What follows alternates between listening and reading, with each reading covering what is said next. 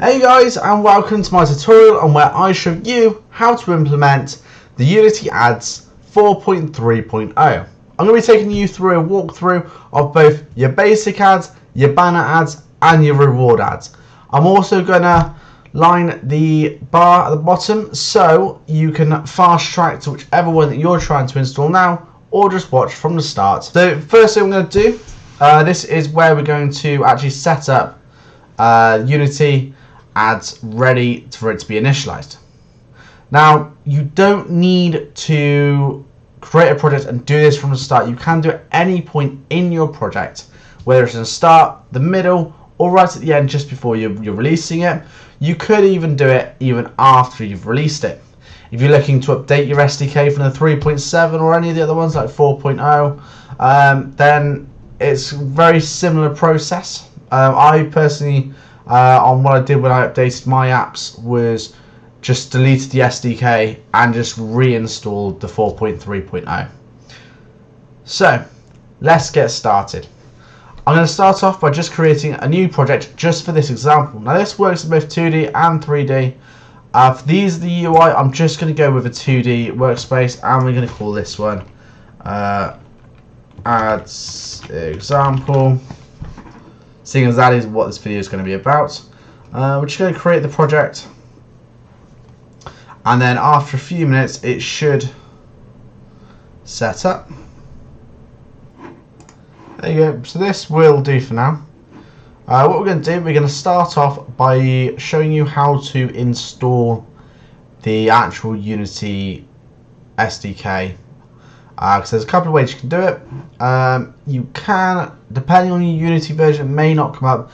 The 2021 version, the reason why I've used it is because I get the problem uh, that you may arise. So when we go to Package Manager, this is Package Manager which shows you all of the packages that you're in. As you can see just there, advertisements is not on there.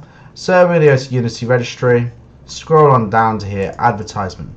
Now you'll notice here this is 3.7.5. Now this isn't the version we're going to be installing. We're going to be installing version 4.3.0. So uh, if that does say 4.3.0 then fantastic, just install it there. But ultimately you're still going to need to go into this next menu in order to set it up.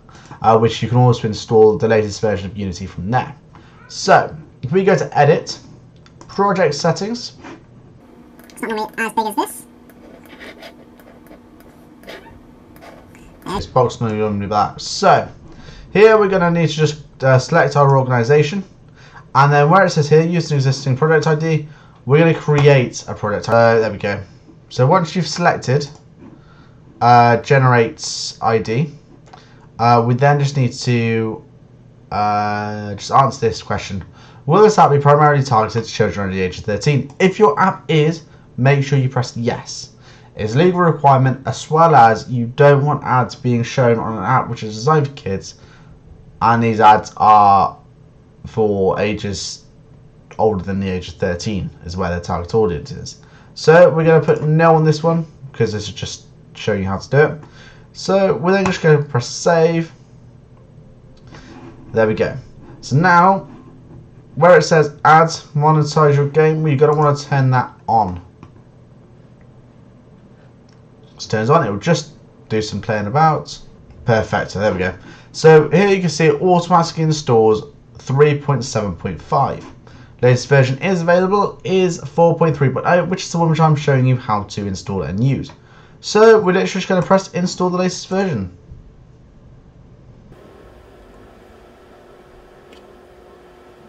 There we go then. So now the current version is 4.3 and we are up to date.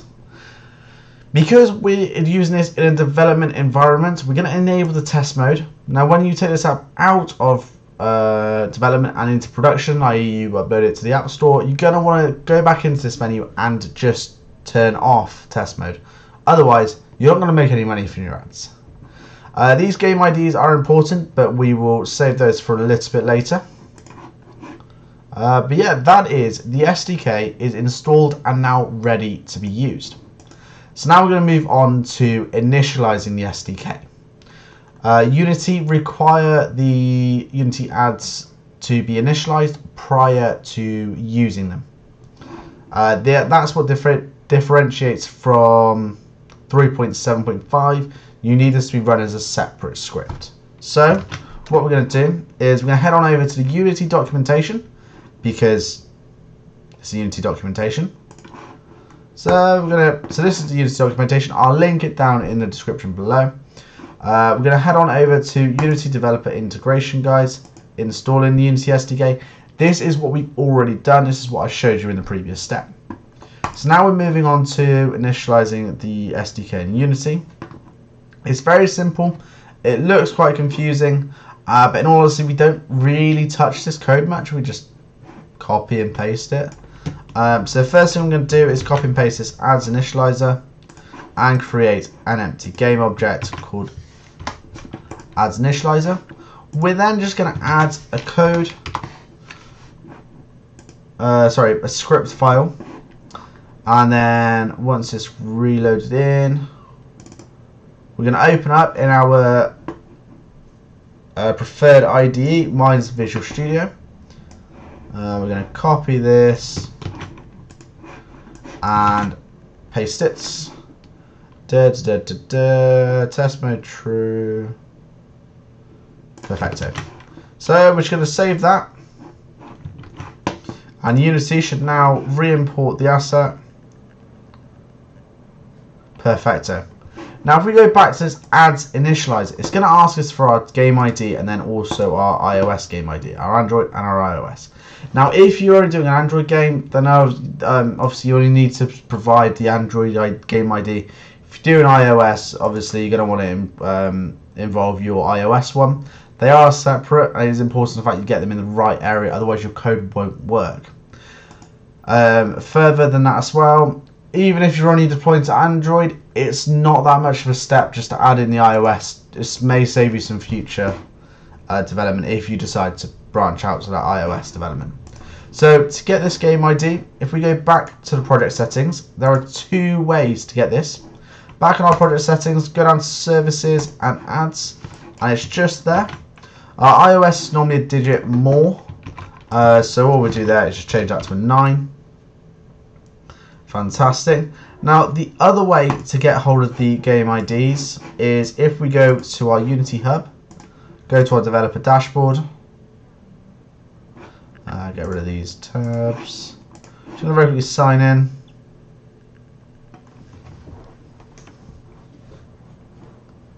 So then if we go to our uh, our project, which is add example, and then we're going to want to head on down to monetization. We are going to need to do this anyway, so ultimately it's a good, good way to do it. Uh, you'll be greeted with this screen just here, uh, where we would set the mediation partner. Now, mediation is a new platform that Unity have just brought out, which can potentially increase your ad revenue, uh, providing set up correctly. And I will be releasing a tutorial on it, but it is a more complicated process. This is just a tutorial on the easiest way to set up and use the Unity Ads SDK. So for this, we're going to select, I don't plan to use mediation, only Unity Ads. I'm going to click OK on that. And then we get hit by our ad units. Up here is the iOS and the Android game IDs just there. Now if they're not there, you cannot just head on down to your settings just here, scroll on down and there they are. Oh, uh, yeah, there they are just there. Game IDs just there for you. So there, there, there's three areas in which the game IDs is. So they're really simple and really easy to find. Uh, and then yeah, so all that's left for us to do now is just make sure it initializes. We're going to play it. Unity Ads in, uh, initialization complete. So that will now run every single time we run the ads. So that is the initialization complete of the Unity SDK.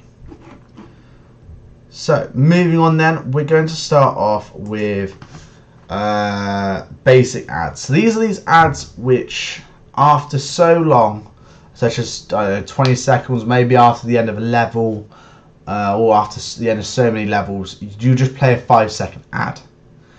That's what these interstitial ads are. Uh, also known as basic ads. Um, So yeah, so let me show you how to install that now. So first thing I'm going to do is going to head on back over to uh, the documentation because like I said, it's quite simple. Implement basic ads in Unity. I'm going to, again, believe it or not, copy it. But I'm just going to start off by creating a game object, calling it that, but I'm not going to add the example bit, so delete that off. And again, create the code. Um, the script. Perfecto. So, now we're here. We're to copy all of this again. Go back to our script, paste it. Fantastic. Right.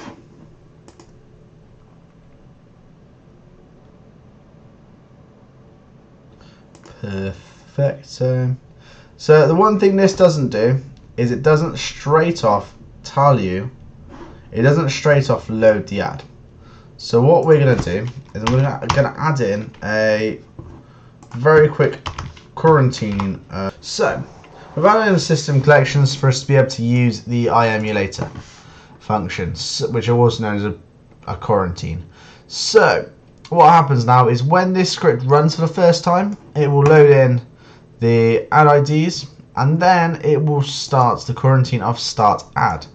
So this start ad function just here, what it will do is it will load the advert, the advert just here, and then it will wait five seconds, and then it will show the ad. So if we go back into Unity, let it re-import itself. Make sure there's no errors, perfecto. We will then click play on here. And so now we will wait five seconds. And there we go. So that would be your ad if you were to play it on a on a mobile device. All you'll do there is just click close. So that would be your your five second your five second ad. Uh, go. And yeah, so that is quite literally it. So you could have it set to different standpoints. So after, let's say, after level 3, you play one of those. After level 6, you play one of those. And all you need to call at those points, so after each level, all you'd need to call is that function just here. Show ad. So if you link this class to wherever your function is to decide the levels, just need to literally just, just, just copy and show ad and Unity will do the rest. It will show the ad and then you'll make a little bit of money every single time that ad is played. So, now that that's done, we're going to move on to banner ads. So I'm just going to stop that from playing. Head on back over to Unity. There we go. So, banner ads. These are the ones that show up at, at the bottom of your screen that just display a very simple banner ad. In order to install that, what we're going to do is we're going to create another new game object, exactly the same as what we did with the basic ads. We're then going to go back to, you guessed it, the uh, Unity documentation and oh, banner ads. Funny enough, again, copy it.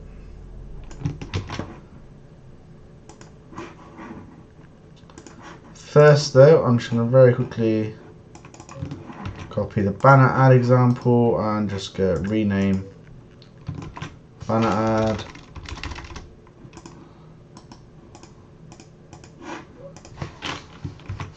So what's also quite important is when you rename the document, so for example I'm here doing banner ad and I'm creating a new script.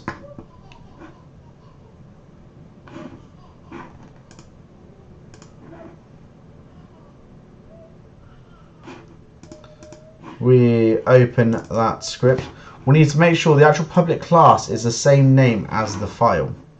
So if I was to copy all of this,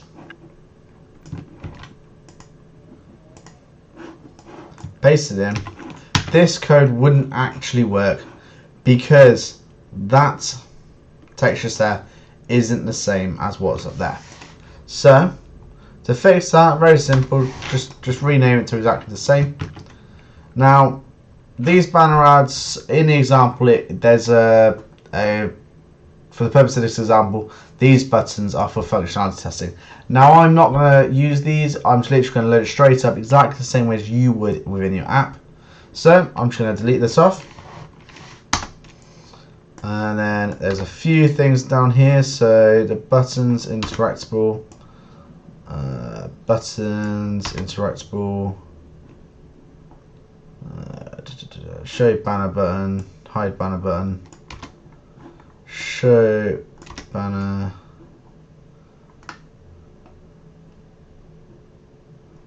And then on destroy we'll just get rid of those listeners just there.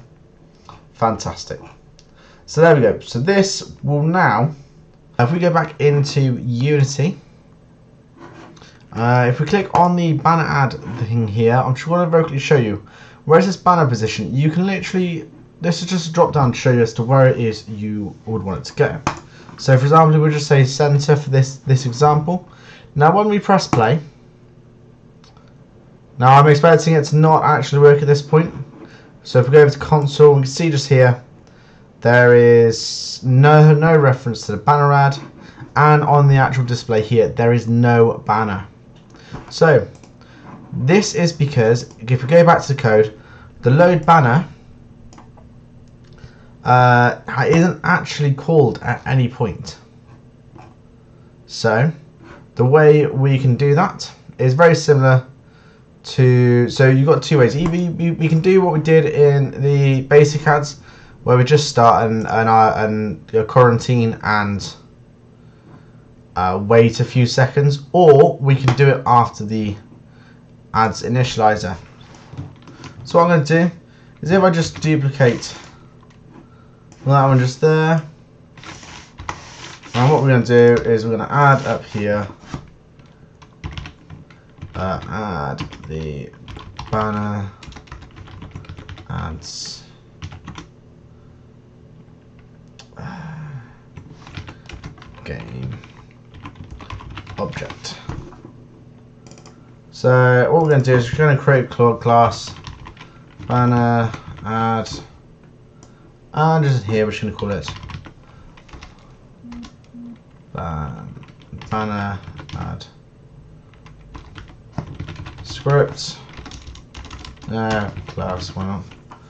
There we go. So now, what we're going to do, notice will also work for the um, ads in there, uh, but obviously the basic ads, you don't really want to uh, just have them show straight away as soon as, it, as soon as he initializes.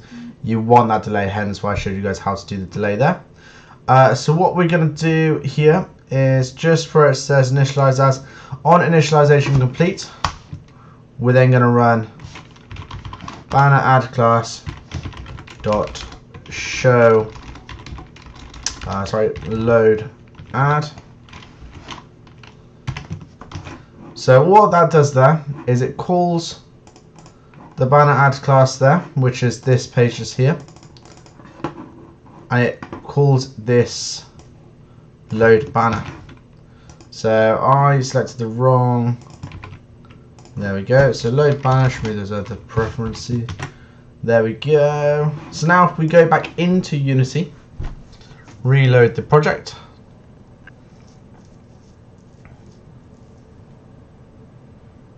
Right, so ignore these errors. So before we do anything, if we go to back to our ads initializer, we now have a action here that we just need to add, which is the banner ad. So all we got to do is drag and drop that game object into there, and away we go. Perfect. Right. So now we've got the uh, banner ad just in there. One other thing I do need to very quickly add is so what we've done here is we've loaded the banner. So in here, when we load the banner, it gets the banner ready. But what it doesn't do is actually action anything. So where it says on banner loaded, what we're going to do here is we're quite literally just going to add show banner ad. There we go. So now when we go back over to Unity, let it sort its life out. Then when we press play, there we go. So we can see just here, the banner's loaded, and this would be your banner. Now the placement is empty at the moment, solely because uh, I'm currently running in a uh, Windows, but if we switch over to Android very quickly, fantastic. So now if we were to run that same compiler as uh, Android, perfect, and there you go, so you'll see then that we no longer get that error. So, that is how you incorporate banner ads. Again, in order to change the, just to show you very quickly the location, just need to change the position just here. So if we go bottom center just there, again we press play. There we go. As you see there, be showing at the banner center. So that, ladies and gentlemen, is banner ads. So now we're going to move on to rewarded ads. Now this is my personal favorite. Uh, you get paid the most for these. So, to get started with this, what we're going to do, we're going to go back to the Unity documentation and head on over to rewarded ads in Unity. Now what we're going to do again is we're going to rewarded ads button and we're going to create a game object and again call it exactly the same. Add components. You can call it whatever you want just make sure when when you add the script that that change is reflected within the script. I will show you again how to do that. So rewarded banner. We'll go back to here grab all of the rewarded.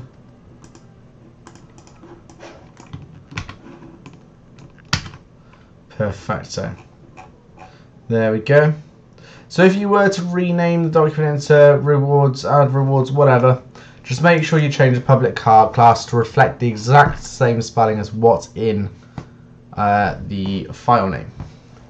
So, if I go back to my Unity editor, I'm just going to make a very quick UI change just so you can see. right. Eh?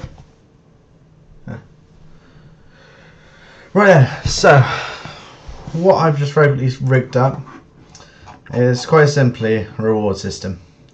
So what'll happen is the user, if the user wants to get an extra 50 coins, when they press that button, that will go up by 50.